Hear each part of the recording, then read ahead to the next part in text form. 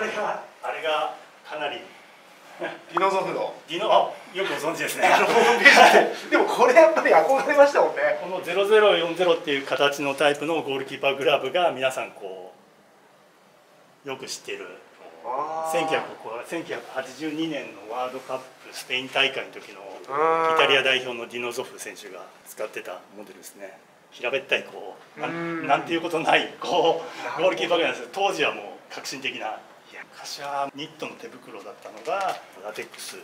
を使ってさらにこうゴールキーパーがあの掴みやすくキャッチングしやすくなった。要するに小島さんも今でもお世話になっているはい、形ですね。でも川口義勝選手もはい。一時ウールアトランタのオリンピックの時はその時か。ですね。細かいこと言うとちょっとブランドマークが日の丸チックになってたりとかオリンピックってなかなか商標の問題とかあってブランドをつながったりとかするんでそういったちょっと工夫もしてたようなグラブは手の内側のラパームとあと甲側のところをこう縫い合わせた形にはなってるんであのもうほんとシンプルなんですけどももう縫い合わせも方法とかもだいぶ変わったりとか半分逆反りさせたりとか選手それぞれ好きなタイプが違います権田選手が使ってるタイプのフィンガーカット。以前あの権田選手もあの YouTube で説明していただいたと思うんですけども非常にこう面が広いタイプになってます。こちらと比べるとだいぶこう手のひらの面の大きさが多分フラットになってるのと巻いてるのと違うかと思うんですけども。従来のタイプのリストの巻くタイプですね。このシリーズだと両側からこう締め付けるタイプになるんですけども権田選手だけ特別に変えてくれっていうことでそのリクエストを受けて対応はしたりしてます。こういう声があったからこういう改良をしたみたいな。実際にあのそういった声聞いたらドイツの本国に、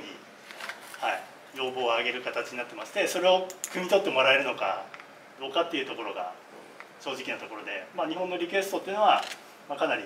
聞いてくれてますんでそういったことであの日本オリジナルデザインとかも作れるようにはなってます。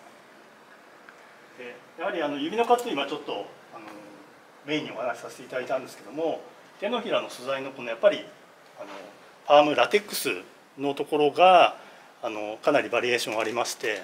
あの耐久性とグリップ力っていうのがどうしても相反してしまうところがありまして、まあ、そこをやはりプロ選手ですとグリップ力の高いモデルを好まれますし、まあ、ジュニア年代とかあのトレーニング向きっていうところであれば耐久性のいいもの。その代わりまあお値段もリーズナブルになっているものがあります。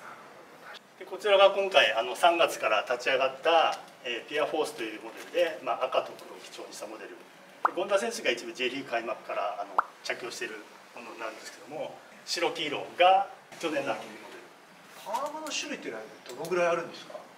パームのタイプはスーパーグリップアブソルトグリップってアクアソフトっていうこうグリップ力の強いものとバランスのいいソフトスーパーソフトっていうでスターターソフト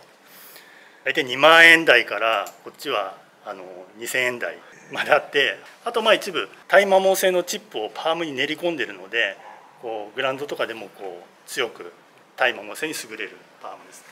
9つ用意してます。でそれの指の組み合わせとパームの組み合わせでゴールキーパーグラブが大体決まっていくっていう形ですねスーパーソフトでも指のカットは2つ用意してたりとか、はい、同じパームでもそれぞれの指の形の違いがあります。あとちょっと特殊なタイプはこういったフレームという、はい、フィンガーセーブとかスパインとか会社によっていろいろ違う呼び方はされてるんですけども当社のフレームですね。結構硬いところで殴ってもちょっと殴りますね。全然。痛くないです。痛くないです地面に手ついた時にもこう逆反りできるように少しこう柔軟性にも優れてる。のが当社のあのサポートフレームの特徴ですね。フレックスフレームっていうタイプなんですけども沖選手とかあのロクタン選手が使っているのはこのタイプですね。あのフィンガーサラウンドっていうタイプなんですけども指を本当にもう巻き込んであのパームが作られててさらに内側に縫製しててもう指にはかなりフィットするモデルになってますね指の安心感がかなりあるかと思います。あの動いてもパームがくっついていくようにあと巻き込んで作ってるのでも本当指の感覚、はい、で取れるものですね。で権田選手のものは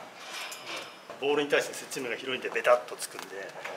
はい、指の中の隙間っていうのが生まれてしまうんですけども接地面が非常に広いんで取った瞬間にはしっかりキャッチできる。人間の手ってこ